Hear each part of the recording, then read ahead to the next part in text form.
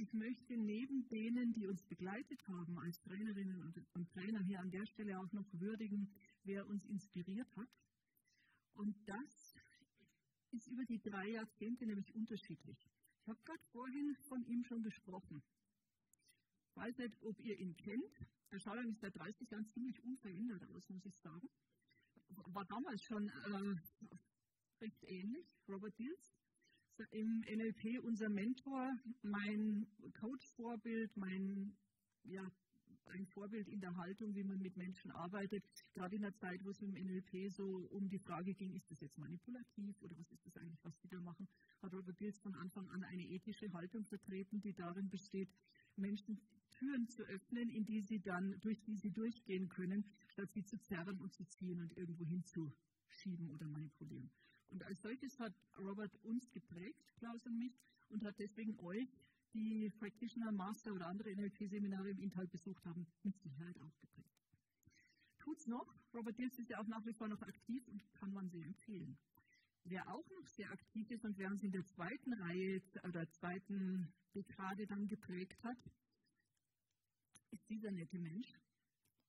Matthias Wager von Kibet, ein Genie der ganz besonderen Art, ein Meister der Systemik, ein Meister der Worte, ein Meister der Zusammenhänge, und mit ihm haben wir die systemische Reihe im Intal begründet. Hat Matthias zum Teil selber die Trainings bei uns gehalten und hat dazu beigetragen, dass Systemik und NLP zusammengewachsen ist. Und das war das zweite Standbein, mit dem wir im Intal jetzt noch stehen.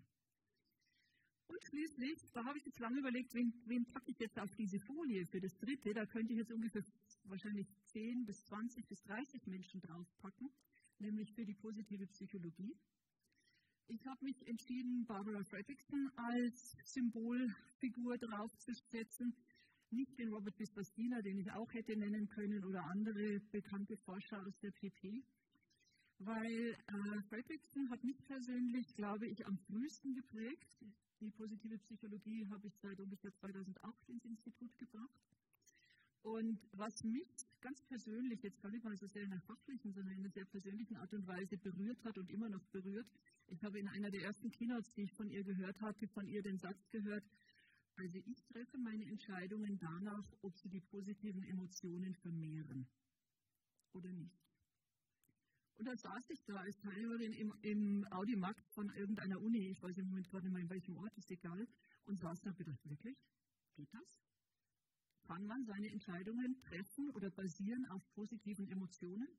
Weil wie vielleicht viele von euch bin auch ich eher aufgewachsen mit anderen Grundlagen für Entscheidungen, die man anlegt als positive Gefühle.